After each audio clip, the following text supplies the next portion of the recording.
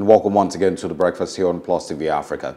Now let's go back in history to the year 2003 in the Maldives, where on this day civil unrest broke out uh, across the country after the, a prisoner was killed in one of their prisons. It was a 19-year-old prisoner called Evans uh, Hassan Evan.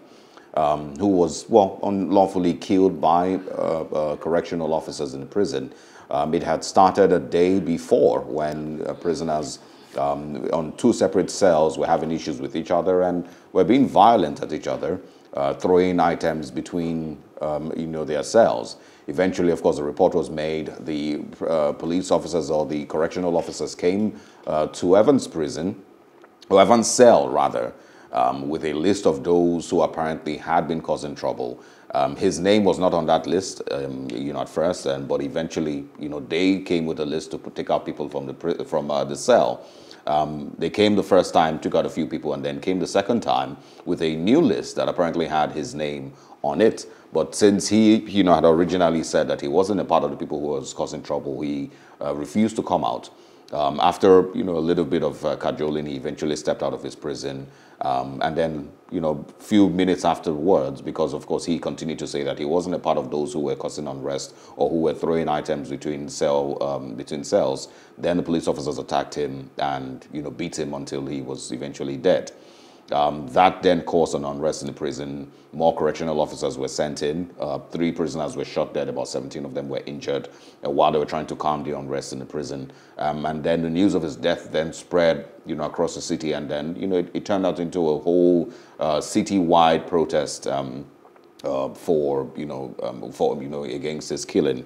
Um, in Maldives. It lasted, um, I think, the whole day. Um, it started around 1100 hours on the 20th of September 2003 and spread across the whole uh, city until it eventually was uh, calmed uh, down a few days later.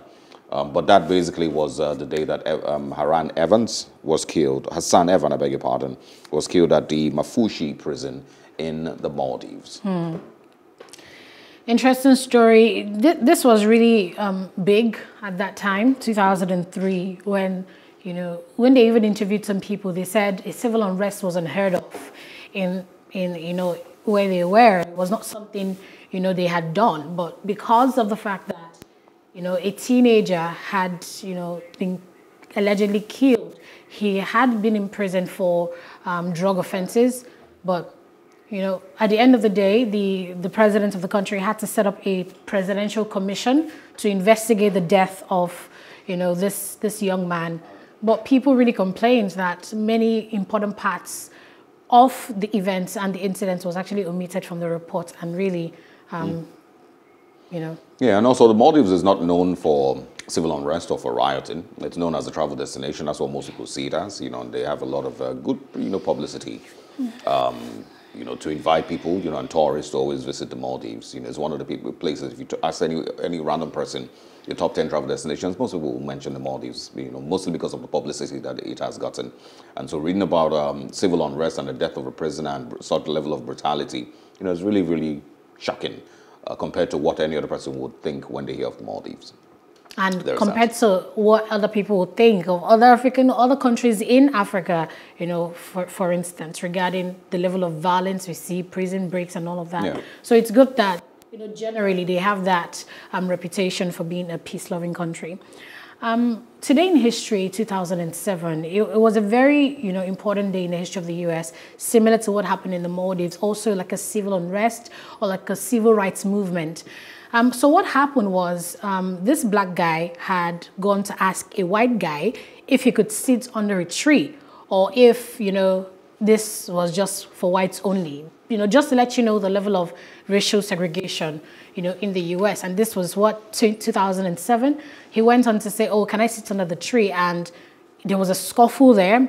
And the next day, um, they found nooses on the tree for the black Americans, the nooses was, you know, very symbolic because when, you know, the slave trade really um, gave way, lynching, violence against black people became, you know, one of the ways that they tried to enforce control you know, by the whites over the over the blacks.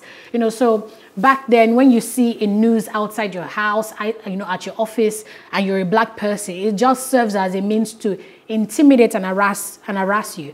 So for the fact that this guy went to ask for permission to sit under that tree, and the next day he found three black noses, it really was an indicator that these white guys had it out for you. They were trying to intimidate you and you know, you know, be violent. So what they did was these guys came together and they beat up that white guy. Now, guess what? For a beating, for a fight that happened in his school, he didn't die. What happened was just they had a fight over the news that they saw and alleged racial comments that they heard.